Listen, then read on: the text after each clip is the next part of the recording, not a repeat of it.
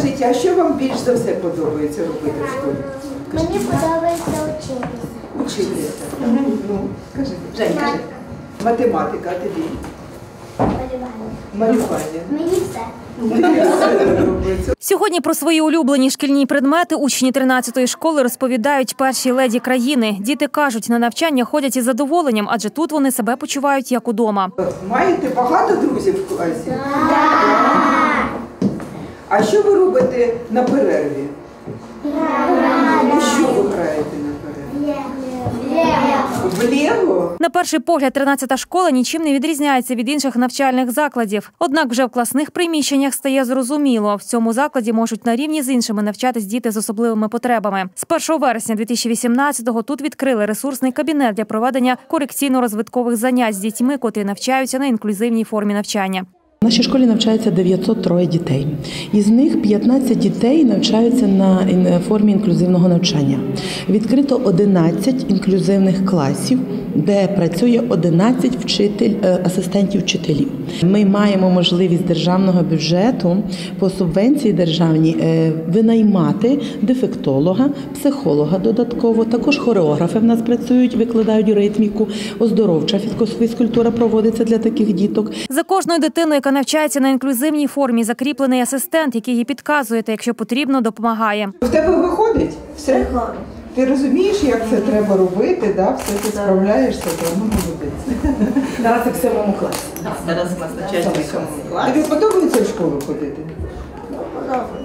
Подобається. За словами Марини Порошенко, функцію асистента при бажанні можуть виконувати і батьки дитини після відповідного навчання. Батьки можуть теж виконувати цю функцію, Бути поруч. Там треба просто е, пройти курси, пройти навчання, щоб вони відповідали вимогам асистента знаходитись, тому що дійсно дитина якщо є, бажання батьків чудове бажання, Так, треба так. підтримувати. Так. На сьогодні майже двох з половиною сотнях закладів освіти Закарпатської області організоване інклюзивне навчання, де отримують освітні послуги 556 дітей краю. За словами першої леді країни, це у два з половиною рази більше ніж у 2016-му, коли реформа інклюзивної освіти лише стартувала. Хочу подякувати всім освітянам Закарпатської області за те, що вони е, так підтримують цю е, реформу, і вони е, щиро і е,